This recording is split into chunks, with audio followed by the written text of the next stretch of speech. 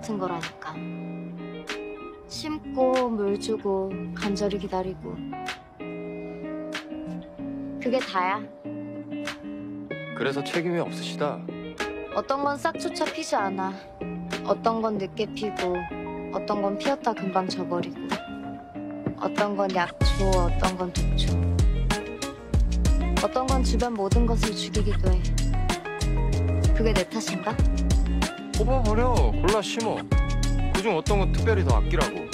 정원이 정원사일 것은 아니야. 내 정원의 꽃을 위해 도대체 언제까지? 영원히.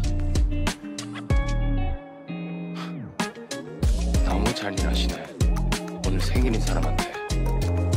생일? 사람? 네가 태어난 적이 사람이었던 적이 있던가?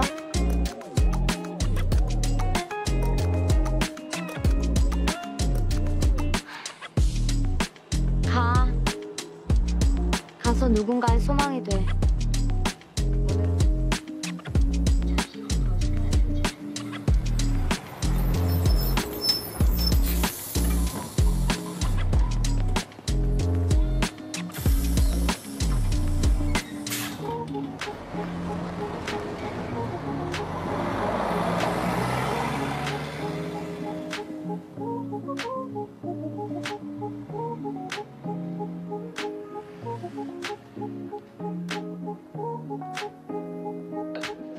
급해서 지금 어 바로 무슨 일 있어?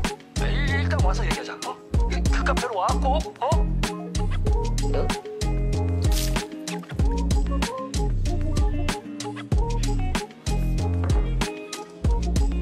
보시다시피 내가 몸이 이래서 겨우 이 정도네.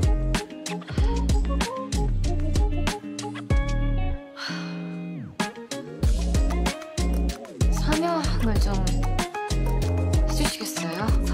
해야지. 그니까 그냥 제 탓하면서 사세요.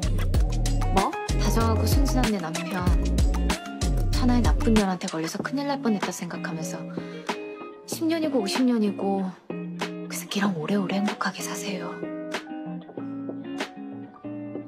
그게 좋겠어요. 뱃속 아이한테도.